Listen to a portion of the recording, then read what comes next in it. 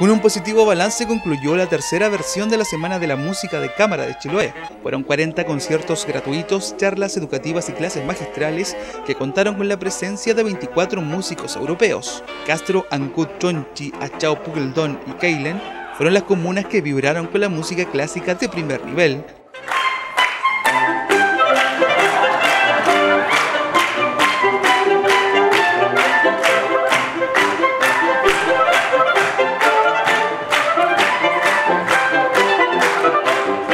El concierto de cierre a cargo del quinteto de vientos Five Sacks se desarrolló en el salón de eventos del Casino Enjoy, lugar donde los asistentes destacaron el aporte a la escena musical de Chiloé que entrega este certamen.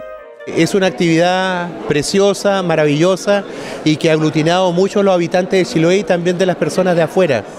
Ellos han tenido un público en estos cinco días sobre las 10.000 personas y se han presentado en algo muy importante que tenemos en Chiloé, que son dentro de nuestras iglesias patrimoniales. Entonces eso le da un valor mucho más importante. Como ciudadanos trans nosotros siempre vamos a estar apoyando este tipo de instancias culturales en pro de la descentralización de, este tipo de actividades. Muchas veces se concentran en centros importantes en Santiago, pero en Chiloé tener un, este tipo de actividades de, lujo, de calidad, es una gran instancia, más aún cuando las personas de toda la sociedad civil pueden asistir a todas las iglesias de Chiloé también donde se han hecho este tipo de actividades. Actividad que no sería posible sin el aporte de las empresas privadas, que en esta oportunidad financiaron el 90% de la iniciativa cultural. Para nosotros ha sido de, verdad ¿eh? una cosa sorprendente.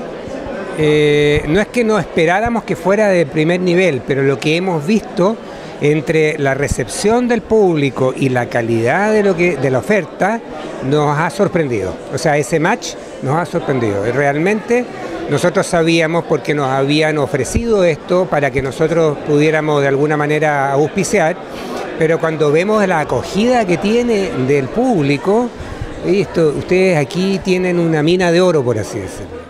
Para nosotros es un orgullo poder participar en este proyecto. Estamos desde sus inicios siempre hemos creído que el talento que hay en la isla eh, debe ser potenciado y nosotros estamos muy comprometidos con la cultura, la sociedad, en donde estamos insertos como compañía y como empresa.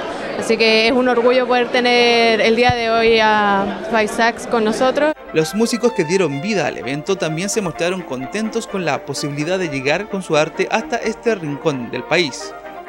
Pienso que fue una linda fiesta, una gran, un gran encuentro, ¿cierto? Con músicos internacionales, con la gente joven de Chiloé, gente que está también creyendo en, esta linda, en este lindo proyecto.